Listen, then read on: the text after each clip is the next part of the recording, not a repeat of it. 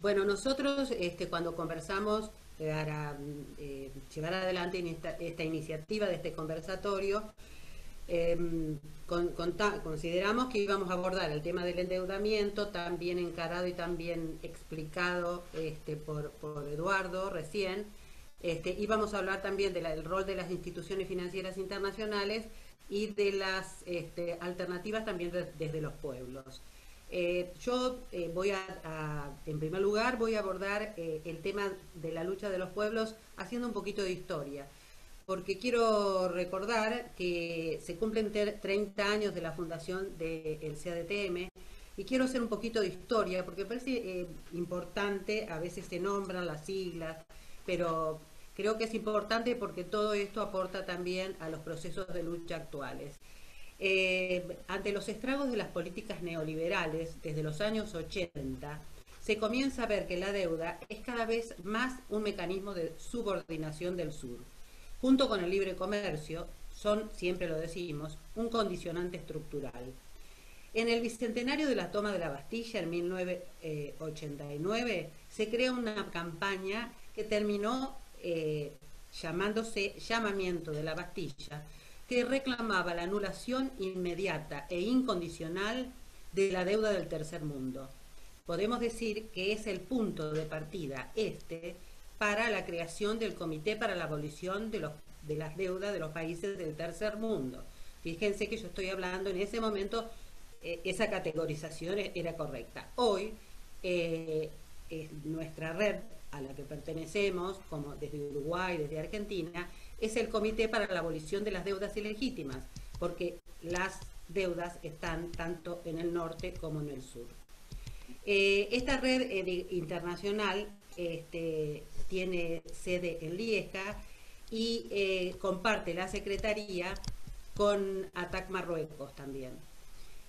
una de las cosas que me interesa remarcar es que actúa a favor de las alternativas radicales a las diferentes formas de opresión en el mundo. No solo se aborda la problemática de la deuda. Y por ese motivo se le cambió mm, brevemente, digamos, el nombre, es porque los procesos de endeudamiento hoy, como ya lo dije, se dan tanto en el norte como en el sur. Es decir, la deuda, trabajamos el tema de las deudas públicas, externa e interna, y también las deudas privadas, que son es realmente son el núcleo de nuestras preocupaciones. Pero no solo nos ocupamos de las problemáticas de la deuda, sino también del rol que cumplen las empresas transnacionales, principales sujetos del capitalismo, el libre comercio en todas sus formas, terminar con las instituciones financieras internacionales que desde hace 76 años vienen operando a favor del capital, proponiendo tanto el Fondo Monetario Internacional, el Banco Mundial, como la Organización Mundial de Comercio, eh, eh, proponiendo eh, políticas a favor del capital y nunca de los pueblos. Desde el CADTM consideramos que deben ser sustituidos por otras instituciones mundiales y democráticas. Terminar con las políticas de ajustes y de austeridad también es otra de las luchas. Es decir, eh, vamos articulando con la deuda, que es lo que realmente consideramos importante, con todas las luchas.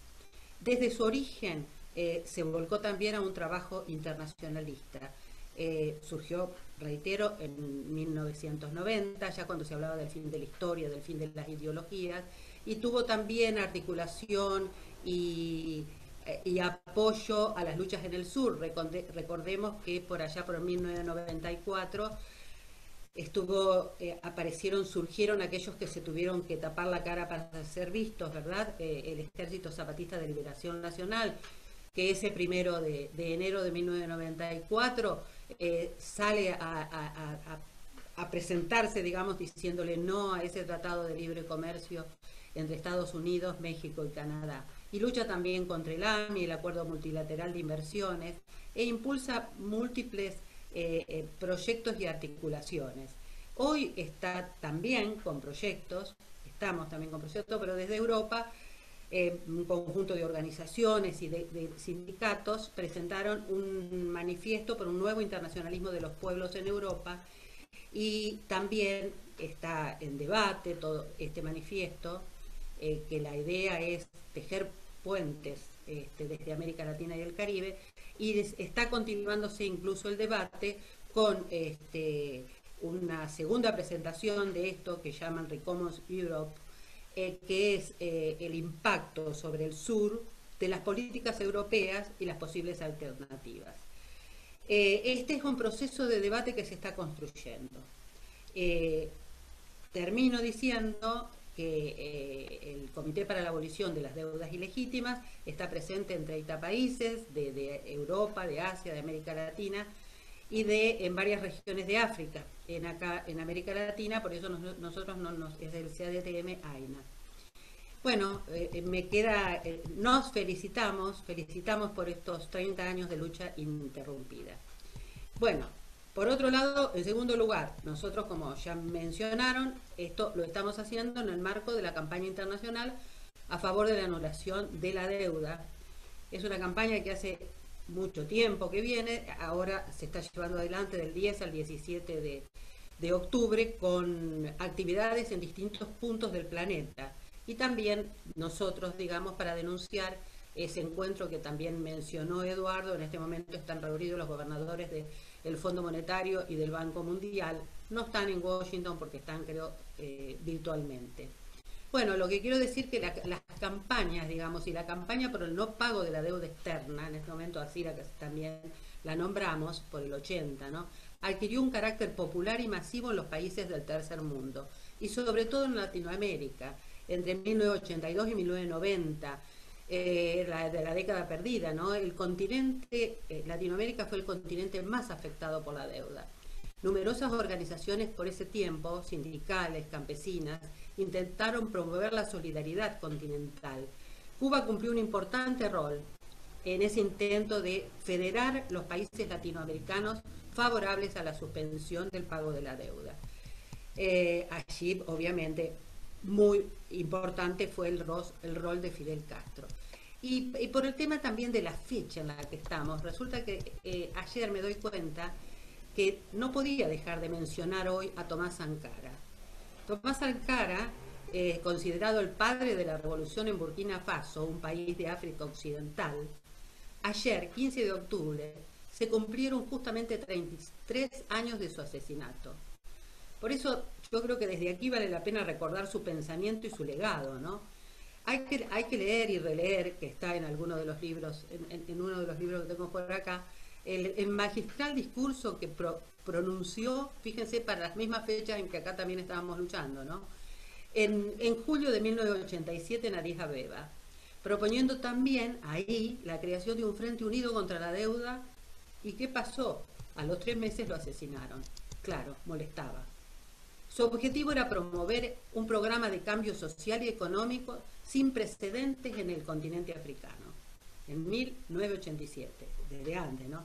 Era una figura carismática, dentro de la política africana se lo reconocía internacionalmente como el Che Guevara africano, que de una perspectiva de renovación nacional bautizó a Burkina Faso como Alto Volta, que significa el país de los hombres íntegros. La visión internacional de Sankara se concentró en el antiimperialismo. Y esto yo lo, remarco, porque después lo vamos a volver a, retomar.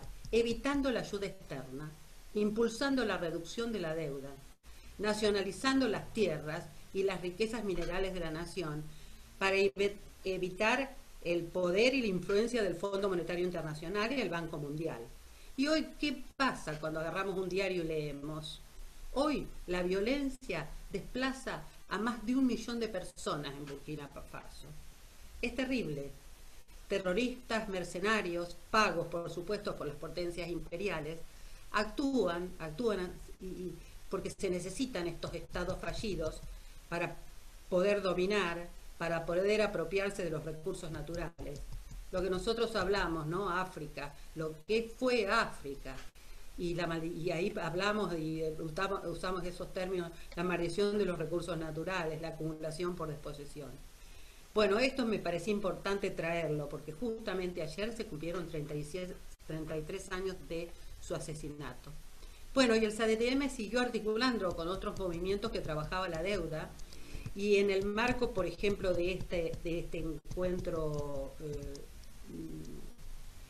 de esta acción global, digamos, trabajó mucho junto a Jubileo Sur. Jubileo Sur, nosotros seguimos trabajando acá dentro del marco de la autoconvocatoria, con Diálogo del 2000, que está es parte de Jubileo Sur, Sur, y cumplieron un rol de suma importancia en la coordinación de organizaciones por país y por continente. Y constituyeron una alianza estratégica para contribuir a un segundo aliento al movimiento antideuda ya por el 2000. Eh, se suma también la Red Ciudadana por la Anulación de la Deuda Externa en España. Se hace una auditoría, Rebeca debes recordar, ya por el 2000 también, en Brasil, donde una consulta popular, de dónde surge la Auditoría Ciudadana de la Deuda de Brasil, que está cumpliendo un rol tan importante, no solo para su país, sino para América Latina y todo el mundo.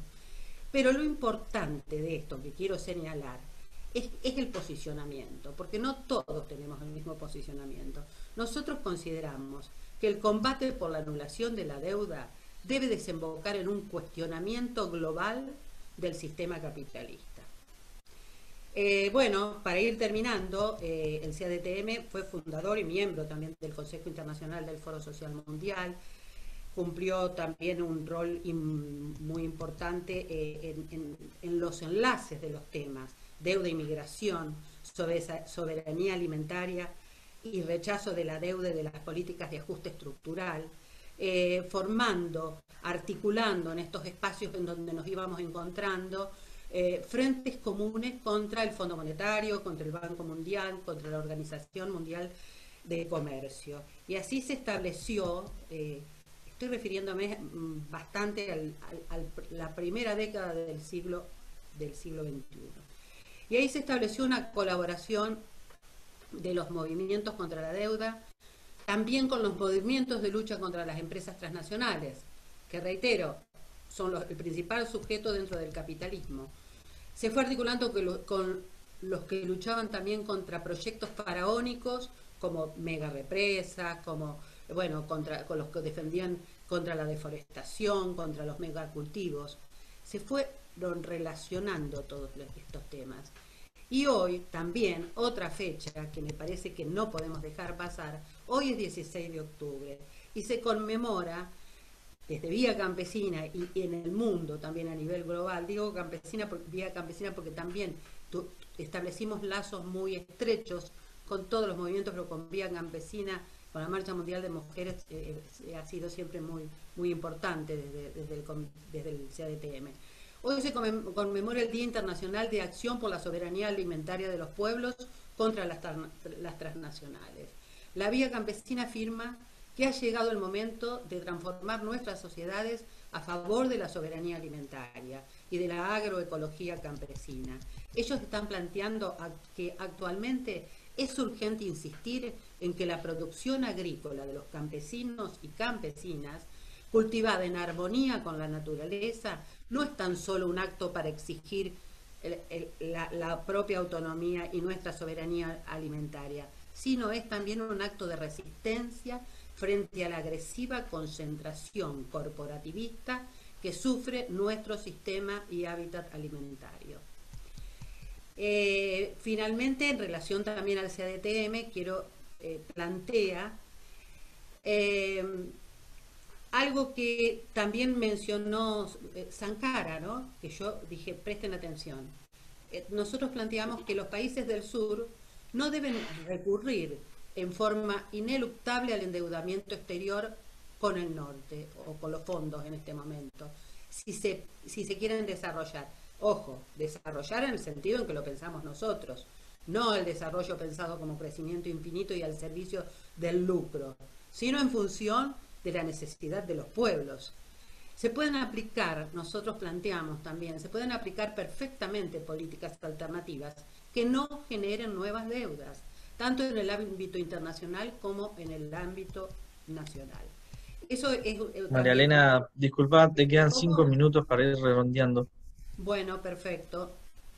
Eh, yo iba a hacer un análisis, pero seguramente lo van a tomar, porque para analizar las luchas hoy tenemos que analizar el contexto en el que estamos eh, el, aumento del endeudamiento en el mundo, que también lo explicó este, eh, Eduardo, eh, que acaba de explicarlo, y cómo, digamos, en América Latina y en el, estamos ante momentos inciertos y difíciles, cómo se intenta restaurar, la verdad, en América Latina y el Caribe, un, un orden conservador. veamos Bolivia, Ecuador, Chile, Brasil, Colombia y hay una profundización de la desigualdad en nuestro continente, que siempre fue el, continente más desigual increíble. Eh, el COVID, eh, la pandemia llega después, estamos en el marco de una profunda crisis que estaba, eh, seguramente se va a volver a hablar de este tema, pero que ya se estaba produciendo a partir de, sobre todo de procesos de recesión que se venían dando, eh, antes del COVID, lo que hace el COVID es eh, potenciar ¿no? Eh, aún más. en este momento es muy difícil analizar un escenario post pandemia, sobre, todo porque la verdad que estamos viendo, ese es, es, algo que me gustaría que conversemos también, estamos viendo que se están dando nuevas condiciones para la reproducción del capitalismo neoliberal. Y la verdad que es paradójico que esto, que esto esté ocurriendo, porque la verdad que han quedado al desnudo, pero eh, lo que significó la globalización neoliberal capitalista, lo que significa, lo que significa el poder de las transnacionales, eh, la no intervención del mercado, perdón, del Estado y dejar todo en manos del mercado, el rol de las instituciones financieras internacionales.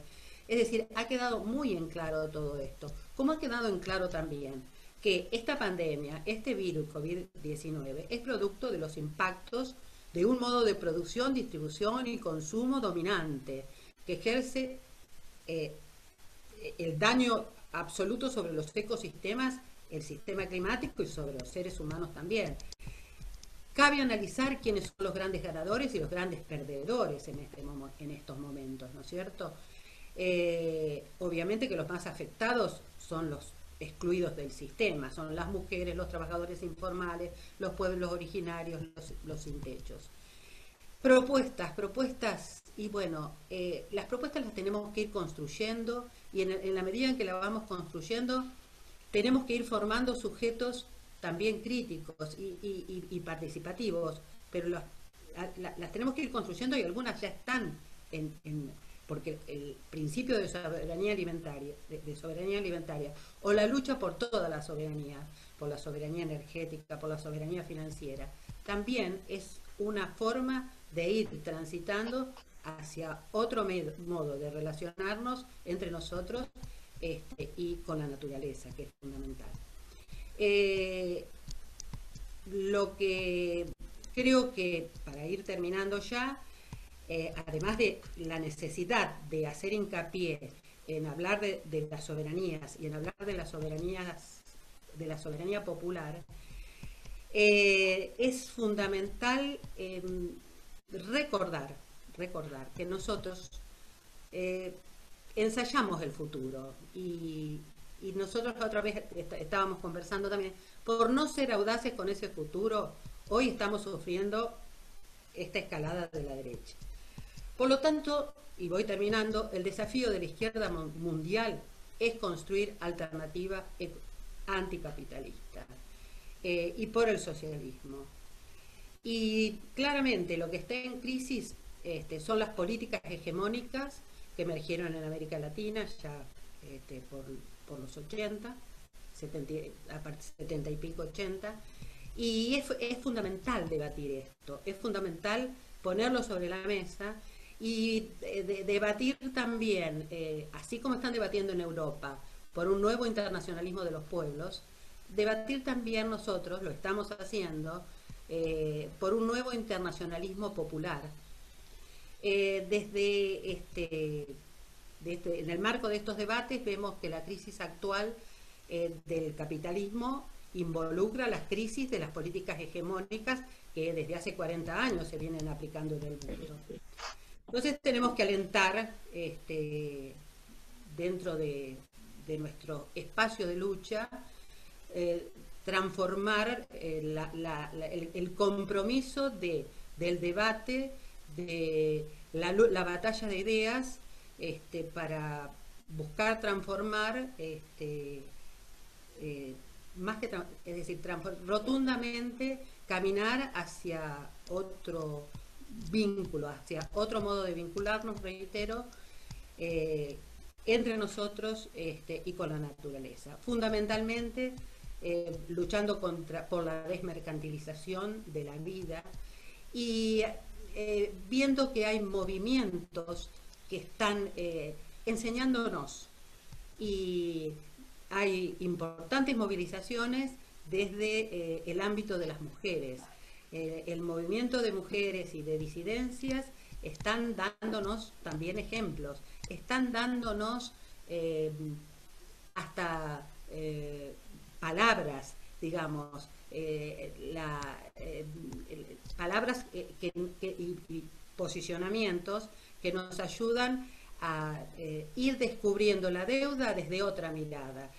Fíjense que nosotros repetimos reiteradamente, libres y desendeudadas nos queremos. Los jóvenes que están luchando frente a la crisis climática también. Eh, es decir, el panorama, si bien es incierto, eh, mm, lo, que nos hace esa incertidumbre nos lleva a que con más potencia nosotros tratemos de articular, tratemos de tener uh, eh, unidad en la acción y tener un, horizonte, un referente, digamos, y poner en práctica, recuperar palabras como reciprocidad, como autogestión, como cooperación, como solidaridad de clase, como complementación. Y finalmente, desde el sur, eh, estamos hablando desde el sur, eh, los movimientos sociales del sur debemos también, eh, desde, la temática de la deuda, debemos insistir en los múltiples llamamientos que hacemos en la suspensión y la anulación de las deudas públicas previa una auditoría integral y participativa, que es lo que estamos haciendo en Argentina desde el espacio de la autoconvocatoria por la suspensión de pago e investigación de la deuda.